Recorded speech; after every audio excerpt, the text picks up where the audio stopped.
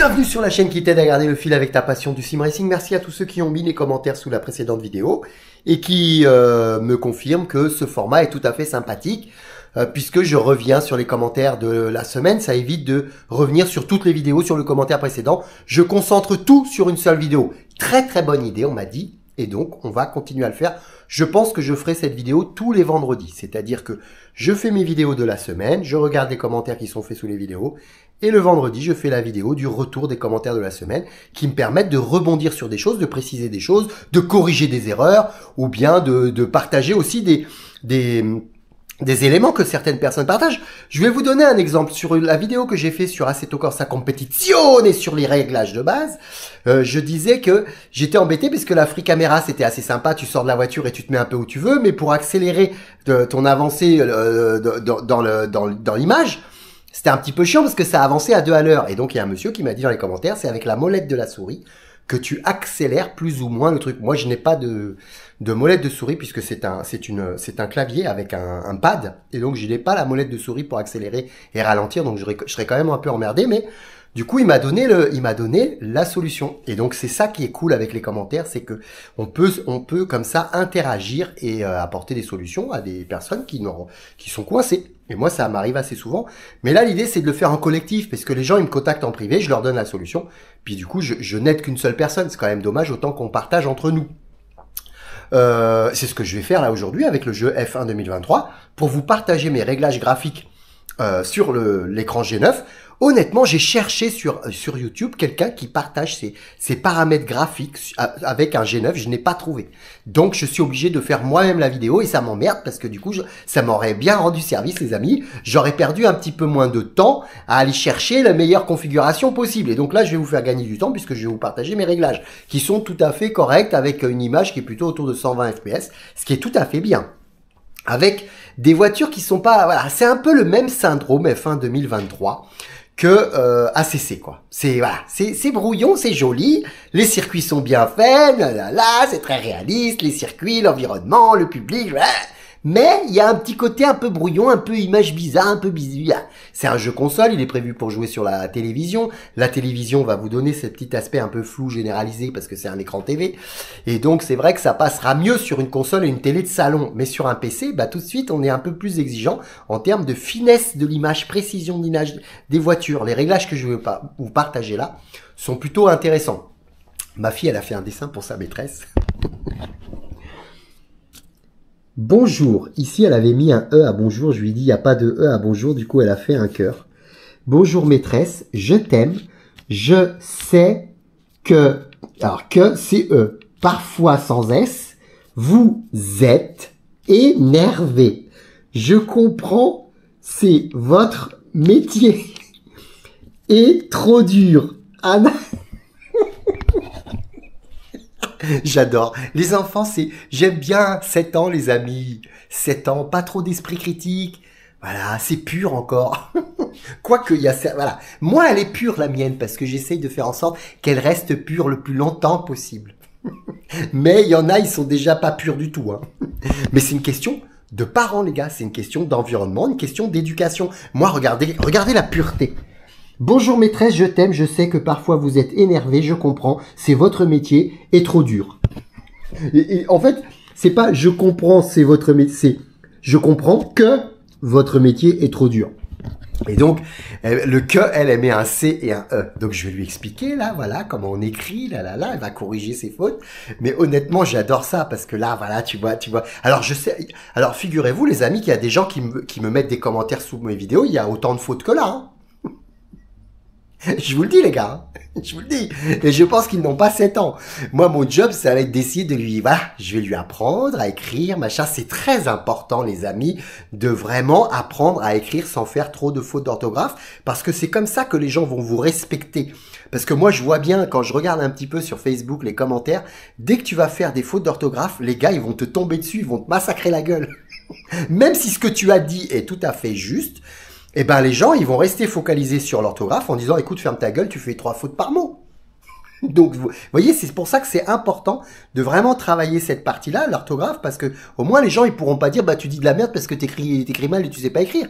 voilà, ils seront obligés vraiment de s'appuyer sur les arguments et pas sur la forme. Mais comme on sait que la forme, c'est le fond qui remonte à la surface, bah, quelqu'un qui fait plein de fautes d'orthographe, bah, le fond, voilà, c'est quelqu'un qui est pas respectueux, qui a pas fait le nécessaire pour apprendre, qui se donne pas la peine d'utiliser un correcteur d'orthographe, tout ce que vous voulez. On y va, on se connecte sur F1 2023, je vous montre un petit peu mes graphismes, comment ça fonctionne, on fait un petit tour du circuit d'Imola, voilà, pour vous vous rendiez compte ce que ça donne, et puis voilà les gars, c'est parti, connexion sur l'ordinateur. Alors messieurs, vous avez vu que j'ai changé un petit peu tout cet environnement, c'est joli, hein, maintenant c'est plus sympa, qu'est-ce que vous en pensez? Vous préférez, comme c'était avant ou comme c'est euh, maintenant? Mettez-le moi dans les commentaires les gars, normalement ici sur le côté vous devriez avoir le chat qui défilera en fonction de, euh, voilà, si ça marche ou pas, puisque ça pose euh, problème assez souvent le défilement du chat. Là, j'ai des petits soucis de configuration et à chaque fois, ça part un petit peu en sucette. Donc, euh, mais bon, comme la plupart du temps, je partage mon écran. Je peux même partager aussi mon écran maintenant. Avec, j'ai mis un petit système. Regardez, vous pouvez faire un truc comme ça. Hop, écran. Paf, et je fais apparaître mon écran ici sur le côté pour commenter en même temps ce que je suis en train de faire, mais là l'idée c'est de prendre l'écran en totalité. Donc on passe sur l'écran, on va aller directement sur le jeu de Formule 1, F1 2023. Vous arrivez ici sur la page d'accueil et vous allez tout en bas dans Options, vous faites Entrer et là vous cliquez sur Paramètres. Et donc Paramètres, vous allez dans Paramètres graphiques, pof. Et le premier truc déjà à aller euh, faire, c'est d'aller ici dans Mode vidéo. Vous faites Entrer et là, vous avez la carte graphique, vous sélectionnez votre carte graphique, vous mettez la résolution de votre écran. Moi, j'ai mis plein écran. Format de l'image auto, synchro vertical, non. Intervalle synchro euh, auto, fréquence de rafraîchissement automatique, limite IPS, oui, j'ai mis 120. Pourquoi? Parce que mon écran, eh ben, je ne l'ai pas réglé pour qu'il aille au plus, plus de 120 d'images par seconde. Donc ça sert à rien de voilà. Donc je limite les images par seconde, comme ça c'est réglé. Filtrage anisotrope, j'ai mis 16x, c'est le maximum. L'anti-crénelage, je vous conseille de mettre NVIDIA DLSS si vous avez une carte NVIDIA. Et le mode anti-crénelage en qualité, netteté anti-crénelage 50. Voilà, le reste est grisé. Une fois que vous avez fait ça, vous faites échappe, vous revenez en arrière. Et là, vous allez mettre euh, ici en bas tout le reste. C'est-à-dire que vous avez, regardez, qualité des détails, moi j'ai mis personnalisé. Il y a des choses qui sont pré-réglées. Vous avez ultra détaillé, détaillé, intermédiaire, faible. Donc là, l'idée, c'est que moi je suis en personnalisé. Donc regardez, qualité du lancer de rayon, c'est le truc crépusculaire ou je sais pas quoi, le ray tracing. Moi, je mets intermédiaire, les amis. Ensuite, je mets non, non, non, non, non, non. Là, je mets que des noms. La plupart du temps, c'est quand ici on met des oui, que, tout part en sucette, les gars, et qu'on a une image dégueulasse. Et là aussi, si vous mettez un petit peu haut ici, vous allez avoir une image un peu dégueulasse. Très franchement, en mettant intermédiaire ici, non, non, non, non, non, ici. Franchement, c'est tout à fait bien au niveau visuel, c'est très très joli. Donc, c'est pas la peine de vous emmerder. Euh, qualité de l'éclairage, j'ai mis ultra élevé. J'ai essayé en élevé, ultra élevé, c'est assez proche, donc autant mettre ultra élevé. Au niveau visuel, je suis pas persuadé qu'il y ait une grosse différence, donc voilà. Qualité du post-traitement, j'ai mis élevé, c'est le max. Qualité des ombres, j'ai mis élevé. On peut aller au-dessus, mais élevé, euh, c'est très bien puisque celui au-dessus ne vous apporte rien. Par contre, il vous fait perdre 10 FPS. Euh, qualité des particules, élevé, c'est le max. La qualité de la foule, on s'en fout. On regarde pas la foule, donc intermédiaire, c'est tout à fait bien. Si vous voyez que vous êtes un peu en galère, mettez faible, d'accord? Mais intermédiaire, c'est tout à fait bien. Qualité des rétros, c'est important d'être en ultra élevé. Je vous expliquais ça déjà sur Assetto Corsa Competizione. Euh, c'est bien parce que sinon vous avez une bouillie de pixels au-dessus. Euh, c'est pas joli quoi. Donc là l'idée c'est vraiment de, faire cet effort de pouvoir mettre ultra élevé. Si vraiment vous avez une machine qui galère et si vous voyez vos, FPS ils sont trop faibles, bon bah à ce moment-là diminuez un peu ici. Mais l'idée c'est d'essayer de, de rester en ultra élevé. Je préfère à la limite que vous mettiez ici la qualité des ombres en intermédiaire ou bien la foule un peu plus bas plutôt que vous mettiez ici en élevé. Voilà, donc essayez d'aller gratter le plus possible pour vous permettre ici d'être en ultra élevé. La qualité des reflets ultra élevé, la qualité des effets de la météo ultra élevé, la qualité des surfaces élevées. Je peux monter, hein, mais je, l'ai laissé à élevé. Qualité des arbres élevé, ça suffit largement. J'ai essayé les deux, j'ai essayé ultra élevé, élevé. Honnêtement, on voit pas de différence. Présence de traces de dérapage élevée, transparence des traces de dérapage oui, occlusion ambiante HBAO+, je vous conseille de ne pas mettre autre chose que ça. Qualité des reflets de surface élevée, le calcul asynchrone oui, la qualité des textures ultra élevée, ombrage à taux variable, oui, cheveux de haute qualité, j'ai mis non, on s'en fout. Euh, Nvidia Reflex, oui, plus boost, mais ça, je sais pas à quoi ça sert. Et aberration chromatique, non. Voilà les gars pour le réglage graphique. Voilà, il suffit de copier ça, vous allez gagner du temps, vous n'allez pas vous prendre la tête. Et regardez déjà ce que ça donne au niveau visuel. Le correction gamma, moi je l'ai mis à 102. Vous pouvez vous amuser à vous mettre ici, à, mettre mode test de performance. Vous faites entrée et le jeu va vous faire la perf avec les réglages que vous avez mis là. D'accord? Donc vous mettez, vous pouvez mettre pareil, on va mettre, euh, on va se mettre, on va mettre IMO là. Temps dégagé, on va mettre euh, temps voilà, dégagé. Caméra cockpit, c'est ce que j'aime bien. Nombre de tours, un seul. On va afficher le compteur, attendez, on va afficher le compteur d'images par seconde. Et là, on va pas répéter le test de performance. Et là, vous faites entrer et vous lancez un test de performance, ce qui vous permet de voir un petit peu le rendu graphique des réglages que vous avez euh, euh, cochés. Et puis en même temps, ça va vous permettre de, voir un petit peu quels sont vos FPS au niveau de la, de course. Vous voyez que là, moi je suis à 109, 113, 118. Voilà, c'est stabilisé, il est remonté. Et regardez, graphiquement, c'est vraiment joli. Hein vraiment, alors le OBS ne va pas rendre, mais vous voyez l'IPS là-haut, 118. Au-dessus du rétroviseur, vous avez mes FPS. regardez, 118, 117, il y a plein de voitures devant. Regardez comme les arbres sont bien faits, on est sur Imola, on voit assez loin. Là, je suis descendu un petit peu à la chicane, 110, 107. Les voitures sont bien nettes devant. Vous voyez, la voiture qui est là-bas tout devant, elle est bien nette. Le contraste est tout à fait correct. Franchement, c'est vraiment sympa. 115, 112, voilà on est sur un départ, donc après quand vous vous retrouvez tout seul, évidemment que ça va monter à 120, vous allez être, euh, au maximum à 120. Moi je dis souvent les gars, vous devez être entre allez, 85 et 100. Voilà, 85, 100, vous verrez pas euh, honnêtement que ça, ça calme. Voilà. Le problème c'est si vous avez des variations. Si vous avez des variations, là ça se faire. Mais il vaut mieux être stable à 80 plutôt que d'avoir des pics à 100 et puis après des, creux à, à 60. Quoi. Je trouve que c'est un petit peu saturé, c'est-à-dire que c'est un petit peu trop colorié l'image. après, euh, vous pourriez euh, rajouter, vous voyez,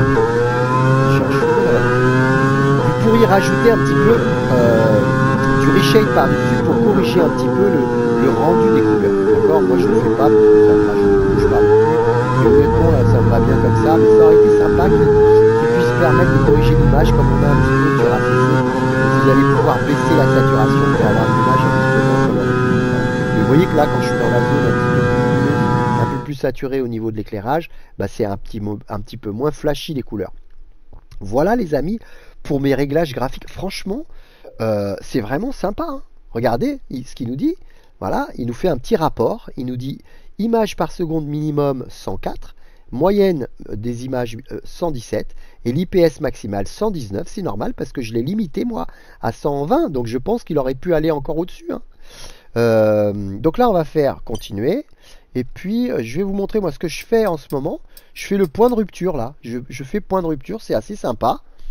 et si vous voulez faire une petite course de temps en temps, je sais que c'est pas évident à trouver, vous faites F1 World. Après, il y a les gars qui sont spécialisés du jeu donc ils savent exactement où c'est. Mais si vous êtes comme moi et que vous venez une fois de temps en temps, il ben, faut, savoir où il faut aller. quoi.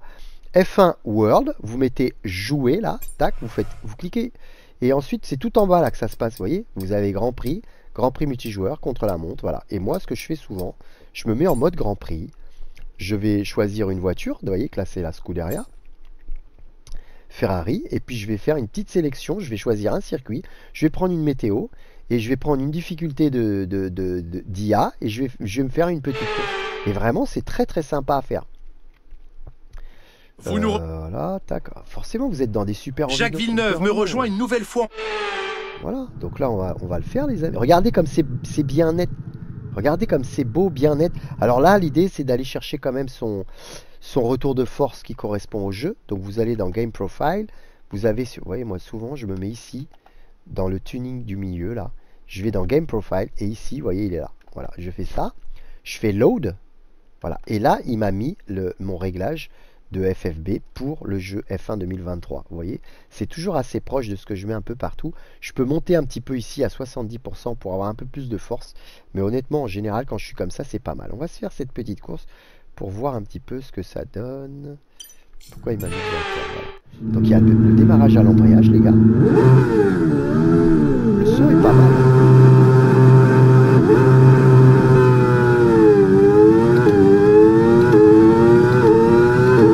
J'ai enlevé toutes les aides. Alors là, j'ai pas de retour de force. J'ai aucun retour de force, les gars. Donc il faut que je redémarre. Les gars, ça peut arriver, ça. Ça arrive assez régulièrement. Moi, ça m'est arrivé plusieurs fois. C'est-à-dire que vous démarrez une course et vous n'avez pas le retour de force. C'est un bug du jeu, c'est comme ça. Donc euh, ce, qui, ce qui se passe, c'est qu'en général, quand vous redémarrez, ça se passe mieux. D'accord? Donc c'est ce qu'on va faire. On va redémarrer. Je vais aller juste pour, sur le Sim Hub là. Voilà, mon Sim Hub il déconne un peu en ce moment. Depuis que j'ai fait la mise à jour, les gars. Vous voyez, il se met, vous voyez, il est tout noir là sur le côté. Il faut que je clique dessus comme ça pour que ça revienne. C'est vraiment bizarre. Hein et euh, c'est un petit peu agaçant. Donc en général, voilà, je mets celui-là. Donc on retourne dans le jeu. On sort du jeu. Voilà, on s'en fout de ça. Tac. Vous voyez, vous vous remettez ici. F1 Word, on revient dessus. On fait jouer. Ça va me permettre de vous montrer où est-ce que vous mettez les, réglages. Regardez, hop. Bah voilà, c'est ça. On va faire commencer un nouveau Grand Prix. Voilà, ça, ça, l'ancien. Vous choisissez votre catégorie, F1 2023. Vous choisissez votre circuit. Voilà, Imola, vous faites entrer, vous choisissez la voiture, Ferrari, Charles Leclerc. Et là, vous avez les aides. Vous voyez, aide, machin. Moi, je mets tout en nom, les gars. Vous mettez tout en nom, aide au, aide au stand, oui. Hein, voilà. Je, fais l'aide à l'ERS. Euh, et puis difficulté, je vais baisser un peu la difficulté. 90, c'est un peu haut pour moi. Je vais mettre 87. Voilà. Vous avez la météo et l'heure de la journée. Voilà. Dynamique, heure de départ de la séance réaliste. Mais vous pouvez tout à fait mettre la levée du jour, matin. Voilà, je vais mettre matin. Euh, voyez, vous pouvez régler pas mal de choses hein, là-dessus. Paramètres de simulation, l'auteur. Mais c'est pas une vidéo sur les paramètres du jeu. Hein. Je crois que j'ai déjà fait cette vidéo. En tout cas, sur le force feedback, j'ai déjà fait. Je vous ferai peut-être une vidéo du genre les réglages de base sur F1 2023. Donc, commencer l'épreuve. Là, là, on est vraiment sur l'aspect graphique. Vous allez voir ce que, comment ça rend à l'écran en fait. Euh, je vais peut-être enregistrer en même temps mon écran 4K avec le, cette course a souvent changé de nom. Grand Prix d'Italie, Grand Prix de Saint-Marin. La course est sur le point de commencer. Jetons un œil à la grille de départ du jour. Ce qui est sympa avec ce jeu, c'est que t'as les voix des voilà, as les voix des vrais commentateurs, euh, voilà. J'espère que je vais avoir le force feedback, c'est les gars cette fois-ci. J'ai pas l'impression. J'ai pas l'impression. Si, c'est bon. Voilà, ouais, c'est bon, il est venu. Donc vous voyez, c'est ça, voilà. Alors là, du coup, j'ai raté mon départ, forcément. Je suis à 103 fps là. Il y a l'OBS. Je peux vous dire que le contrôle de traction euh, sans, assistance, je peux vous dire que c'est très très chaud, messieurs. Hein. Je vous le dis, faut vraiment doser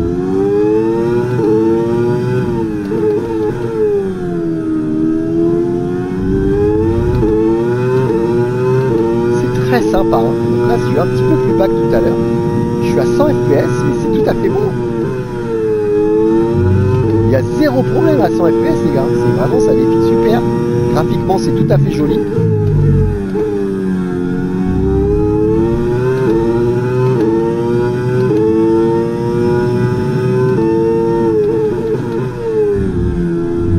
Ce qui est un peu gênant, c'est les mains là, vous voyez au milieu du, quand vous mettez un bon fob et si vous mettez les mains qui s'affichent, vous pouvez les enlever les mains, mais bon, je trouve que c'est un peu moins réaliste au niveau du volant.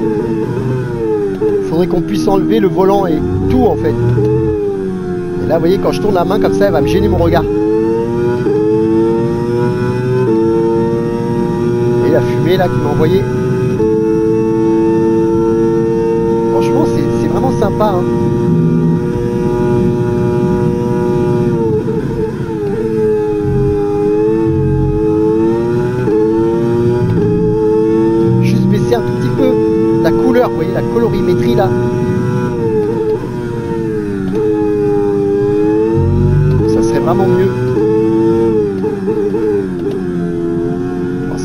Rien à voir avec la W13 qu'on a roulé hier sur RSI. Les sensations, c'est pas du tout les mêmes, hein, évidemment.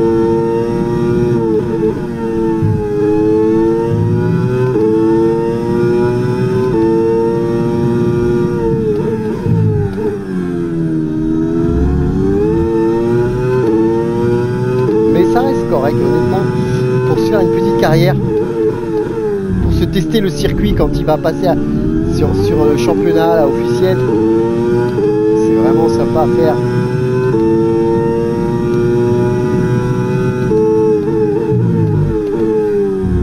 on va quand même aller chercher Sargent, les gars. Ah Je n'ai pas le DRS. Le DRS est maintenant disponible. Ah si, je l'ai. Est remonté sur moi. C'est Albon. Oh, il est là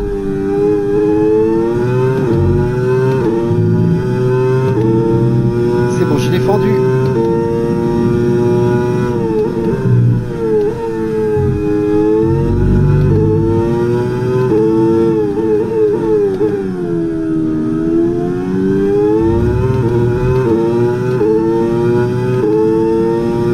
Ça a été un petit peu flou devant la voiture là-bas de Sargent. C'est vraiment le syndrome ACC les gars.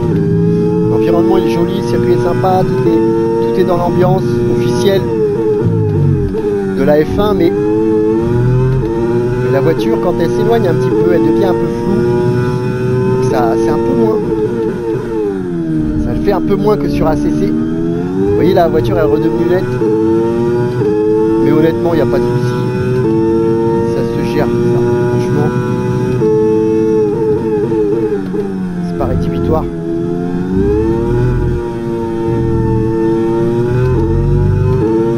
Ah là là, il a une 50, une 500, donc je vais pas pouvoir mettre le DRS. Par contre, lui, oui, il va me le mettre à le bon. Voilà, je vais rester à l'intérieur.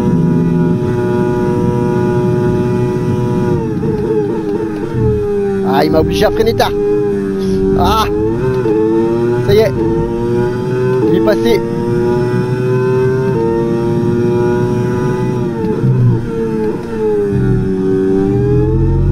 Voyez que niveau 84, ça reste quand même... Quand on n'est pas habitué, qu'on touche pas au setup, à rien du tout, on part avec la voiture comme elle est. Bah ça reste quand même un niveau. Hein.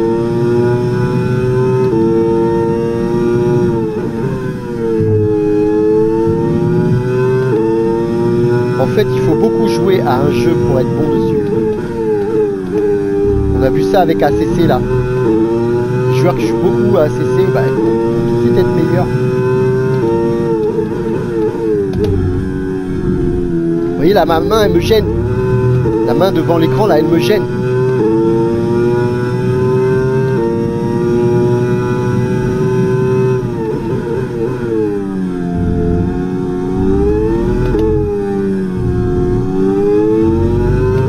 je vais avoir le DRS. C'est bon. Ok, dernier tour jusqu'à la ligne. Ouais Ah, c'est mortel le DRS, les gars.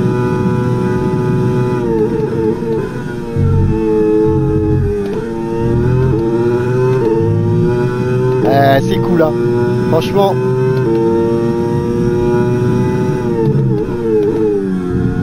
Ce qui compte, c'est de s'amuser, les gars. Si tu t'amuses, c'est bon.